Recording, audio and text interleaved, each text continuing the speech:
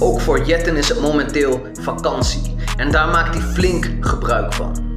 Onze klimaatdrammer die vindt dat gewone burgers niet moeten vliegen en geen vlees moeten eten, vliegt zelf de wereld over. Samen met zijn Argentijnse hockeyboy. Momenteel zijn ze in Parijs voor de Olympische Spelen. En natuurlijk zijn ze ook daar niet op de fiets heen gegaan.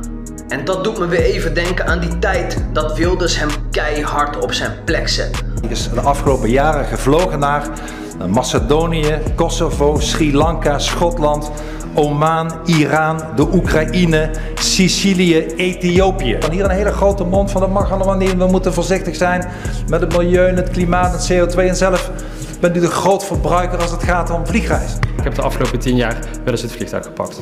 Wel eens, hoorde ik dat nou goed of zat er een vlieg in mijn oor? Hoe kunt u nou van andere mensen vragen dat ze betalen, dat ze van het gas afgaan, dat ze niet mogen vliegen, althans fors moeten betalen en dat u zelf gewoon overal lak aan heeft? De elitaire liberaal van D66 Jetten, die doet het allemaal wel, u bent alle geloofwaardigheid kwijt. Dit is altijd zo met liberale D66ers.